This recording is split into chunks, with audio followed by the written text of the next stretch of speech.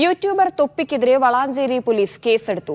കട ഉദ്ഘാടനവുമായി ബന്ധപ്പെട്ട് ഗതാഗത തടസ്സമുണ്ടാക്കിയെന്നും അശ്ലീല വാക്കുകൾ ഉപയോഗിച്ചെന്നും ചൂണ്ടിക്കാട്ടിയാണ് കേസ്.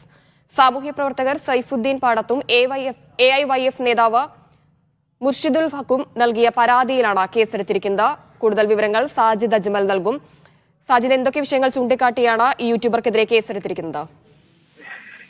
ഹിമ മലപ്പുറം വളാഞ്ചേരിയിൽ ആണ് ഈ വിവാദ പരിപാടി നടക്കുന്നത്. തൊപ്പി എന്ന യൂട്യൂബർ ഒരു കട ഉദ്ഘാടനത്തിന് വരികയും ഇതിന് ഇടയിൽ അശ്ലീല പാട്ട് പാടുകയും അതുപോലെ തന്നെ വലിയ ഗതാഗത തടസ്സം തൊപ്പിയെ കാണാൻ വന്ന ആളുകൾ മുഖാന്തരം ഉണ്ടാവുകയും ചെയ്തിരുന്നു.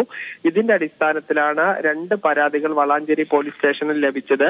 ഇതിന്റെ അടിസ്ഥാനത്തിൽ ഇപ്പോൾ തൊപ്പിക്ക് എതിരെയും ഈ പി പി ഇ എന്ന ജീൻസ് ഷോപ്പ് ഉടമയ്ക്കും എതിരെയാണ് കേസെടുത്തിരിക്കുന്നത് ഗതാഗതം തടസ്സപ്പെടുത്തി അതുപോലെ തന്നെ അശ്ലീ പൊതുവേദിയിൽ വെച്ച് അശ്ലീല പദപ്രയോഗങ്ങൾ നടത്തി എന്നീ വകുപ്പുകൾ ചുമത്തിയാണ് കേസെടുത്തിരിക്കുന്നത്. ശരി വ്യക്തമാണ്. സാജിദ് അജ്മലാണ് കൂടുതൽ വിവരങ്ങൾ നൽകിയത്.